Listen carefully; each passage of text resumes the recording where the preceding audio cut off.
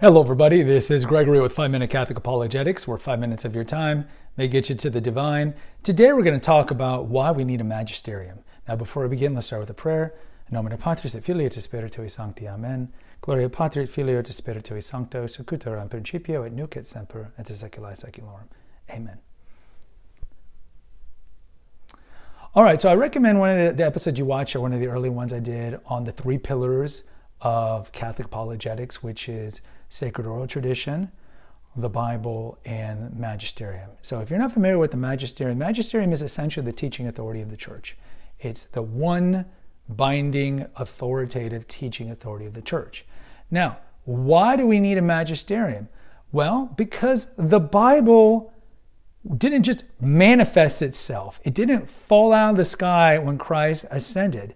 At the end of Matthew, he said, baptize and preach and teach. He didn't pass out Gideon Bibles and put them every hotel room at the time.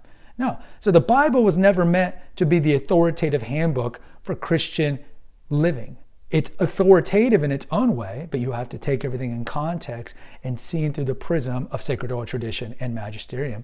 But in itself, it's ne- Christ never said it. And we have episodes here on Sola Scriptura, two or three. Christ never said, all you need for a Christian living is this Bible, because first of all, the New Testament didn't exist, and he didn't say that about the Old Testament. So why do you need a magisterium? A good example of this is the last gospel. Read John 1 and the first 11 verses, first, first chapter of John. In the beginning there was a word, and the word was made flesh. Yeah, that, that whole thing. That's confusing. That's confusing, right? It, it has some Trinity stuff, clearly, but it's confusing. So you can have Church A down the street interpret the last gospel one way. You can have Church B down the street interpret it another one. You can have Church C down the street interpret it another way. Who's interpreting it right?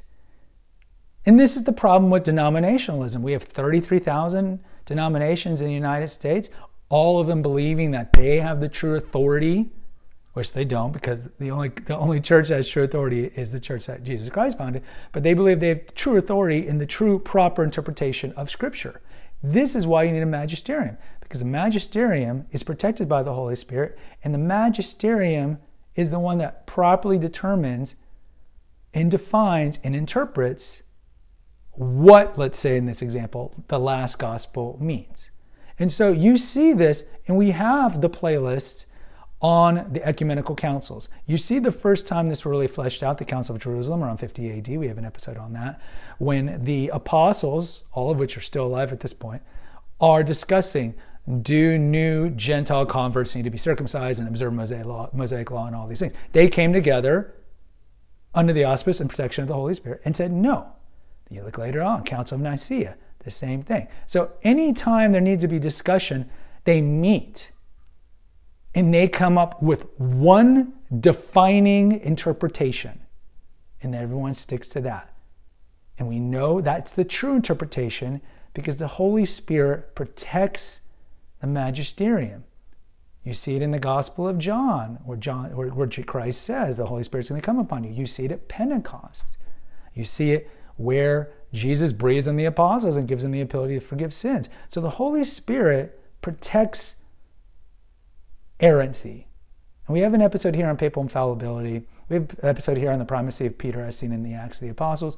But on faith and morals, the Pope can't be wrong. Or ecumenical councils that are properly done can't be wrong either. This is why you need a magisterium, because the magisterium is the teaching authority that says, yes, you could have 10 different interpretations, but only one is right, the one that is interpreted by the Catholic Church, because the Catholic Church was given the power by Jesus to interpret things. You see this played out in Scripture. Jesus says, Whatever you bind is bound. Whoever hears you hears me. We've talked about in the treatment with every epistle we've done with Peter. Peter, I'm sorry, with Paul and Paul's epistles. Paul gives the tools and fleshes out the tools, and you see Jesus do this as well in the Gospels the tools of excommunication. You see early ecclesiology in the New Testament, in the epistles. So you see these, he always says, pretty much every epistle is watch out for false prophets, right? And he says, protect the traditions that we have. essentially maintain orthodoxy. Watch out for false prophets that teach heterodox teachings. See, all this is in there because it was understood in the nascent church that there was one interpretation that was the right interpretation. Not the Judaizers that you see Paul talk about in the Galatians, and not later on in the, with tons of different heretical sects in the first 200, 300 years. They're heterodox. There's one teaching, and then you need to stick to it. And Peter and Paul and John in their epistles all say the same thing stick to this view. And what was this view? It was the view that was handed down through apostolic succession to the disciples of the apostles, to the disciples of the disciples of the disciples. This is why I do a lot of episodes on the early Catholic saints, because they got their training, like a Polycarp, he was a, disciple of John, from the apostles or the disciples of the apostles. So there's one homogenous, orthodox view of everything as defined and protected by the magisterium, which is the teaching authority of the church, whether it be in 64 AD, like you see it played out in the epistles, or whether it be in 2021 AD. You can't have too many cooks in the kitchen, like in the military. There's a chain of command. It's the same thing here. There needs to be one defining authority. If not, you have schism and chaos, what you have today with denominationalism.